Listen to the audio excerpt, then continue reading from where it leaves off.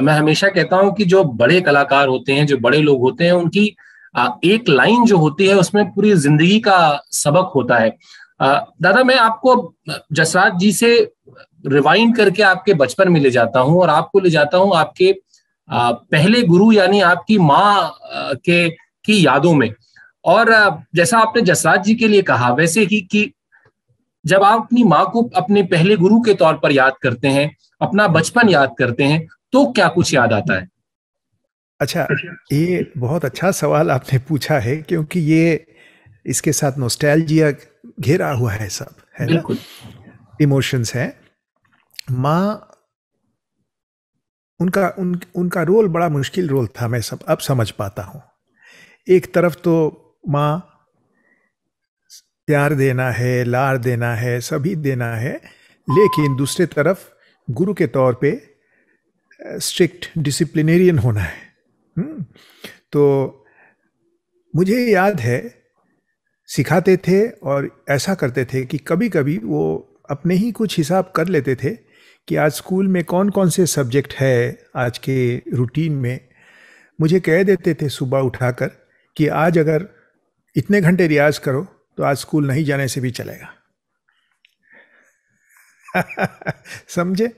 सो so, वो वो खुद हिसाब जोड़ लेते थे कि उसमें। हालाँकि मैं पढ़ाई लिखाई में काफ़ी सीरियस था और माँ पढ़ाती भी थी।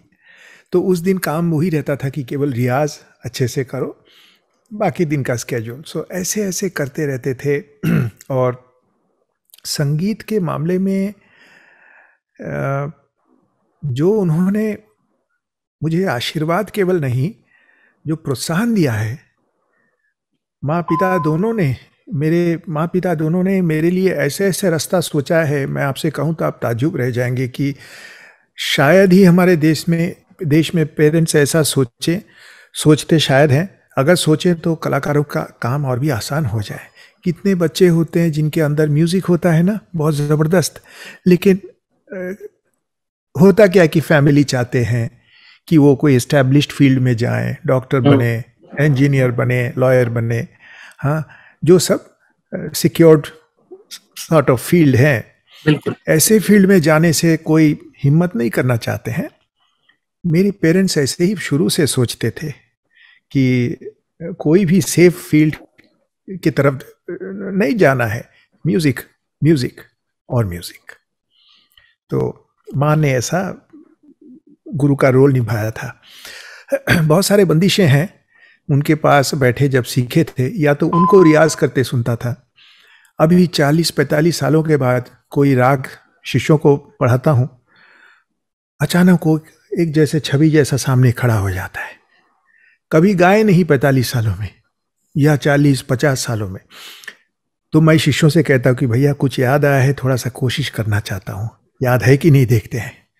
और आ जाता है पूरा का पूरा। यही आशीर्वाद है बस। ऐसे।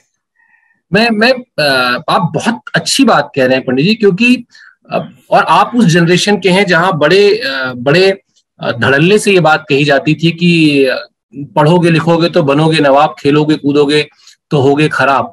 और संगीत को भी बहुत किसी सिक्योर करियर के ऑप्शन के तौर पर जिस तरफ़ आप इशारा कर रहे थे, देखा जाता नहीं था। ये लगता था कि यार, गाते तो हो, अच्छी बात है, काम क्या करते हो, ये बताओ। एकदम मुझे कुछ ऐसे किस्से अपने माता पिता जी के बताइए जब आपको ये लगा हो कि उन्होंने जो जो उनका दृढ़ निश्चय था कि उन्हें अपने बच्चे को गायक बनाना है और सिर्फ़ गायक बनाना है क्या कुछ उन्होंने कमिटमेंट दिखाई? क्या कुछ उन्होंने सेक्रीफाइसेस किए? किस तरह से आपको मोटिवेट किया? वो बताइए क्योंकि वो संभवतः आज की जनरेशन में जो पेरेंट्स इस इंटरव्यू को देखेंगे उनके लिए बहुत उपयोगी जानकारी होगी।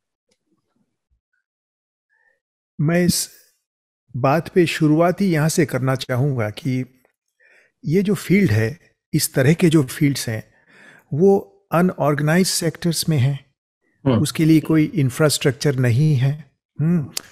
कहने का मतलब यही है कि कोई कैंपस सिलेक्शन नहीं होता है कोई ऐसा नहीं है कि ये ये फलानी डिग्री हो तो ऐसे ऐसे जॉब इंतज़ार कर रहा है आपके लिए हाँ। कुछ ऐसा नहीं है हम्म।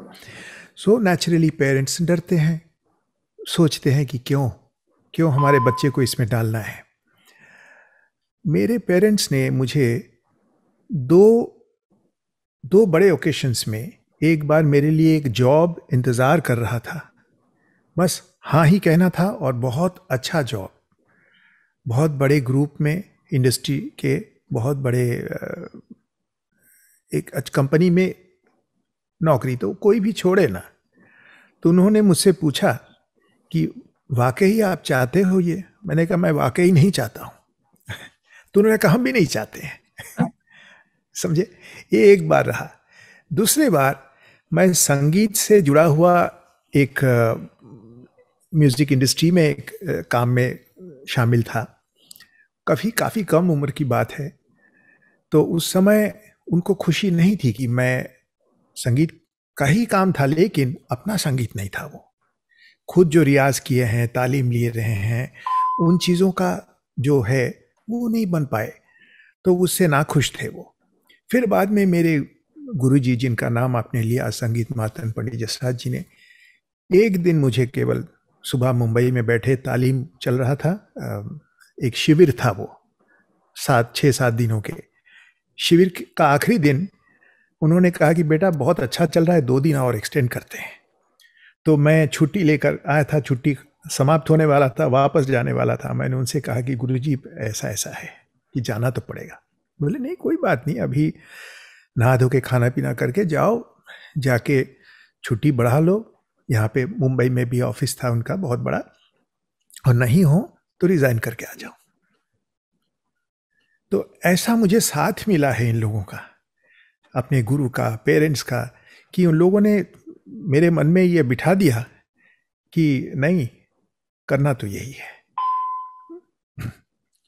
तो दादा हम आपके हाँ। इस इंटरव्यू में आपके अगले गुरुओं की तरफ़ पढ़ें उनके बारे में थोड़ा सा जाने उससे पहले एक बार फिर गुजारिश करूँगा कि कोई राग आप हमें सुनाइए जिससे इस इंटरव्यू में बीच बीच में संगीत का हिस्सा भी साथ साथ चलता रहे। ज़रूर। अब अभी आपको सुनाते हैं। फिर आगे बातचीत करेंगे।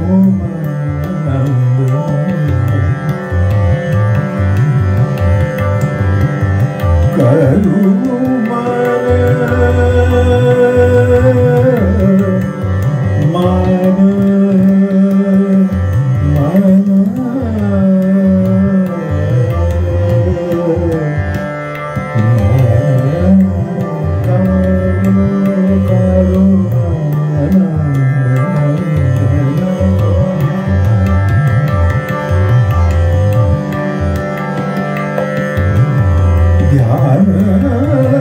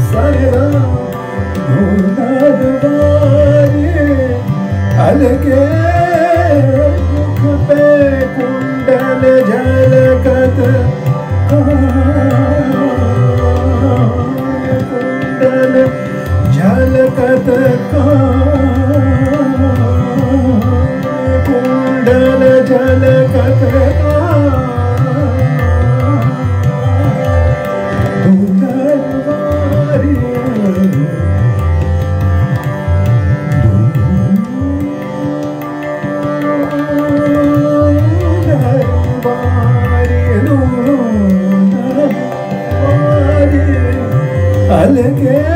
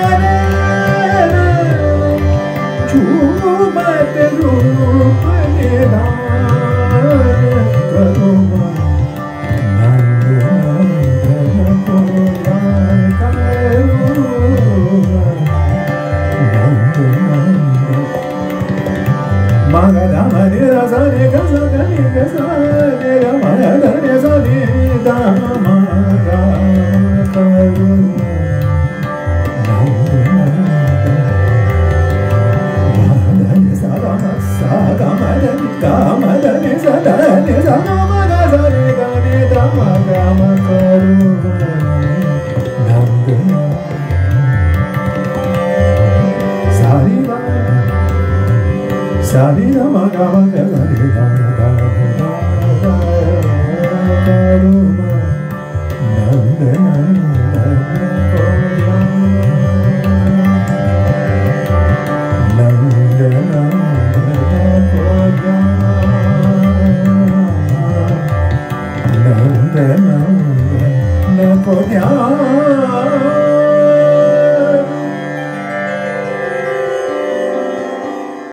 ये वीडियो आपको कैसी लगी, हमें ज़रूर बताएँ। इस वीडियो के कमेंट बॉक्स में जाएँ और अपनी राय रखें। इसके अलावा, रागगिरी को सब्सक्राइब करें और बेल नोटिफिकेशन ज़रूर प्रेस करें, जिससे जब भी हम कोई नया वीडियो लेकर आएँगे, आपके पास जानकारी यानी नोटिफिकेशन पहुँच जाएगा। आप वक्त हो तो तुरंत देखें, नहीं तो बाद में भी इस वीडियो को देख सकते हैं। हम आपको बता दें कि रागगिरी भारतीय शास्त्रीय संगीत के बारे में जागरूकता फैलाने का एक मंच है, जो एक रजिस्टर्ड ट्रस्ट है और 2014 से हम छोटे बच्चों के लिए खास तौर पर ये मुहिम चला रहे हैं, जिसका टाइटल है सुनेंगे तभी तो सीखेंगे।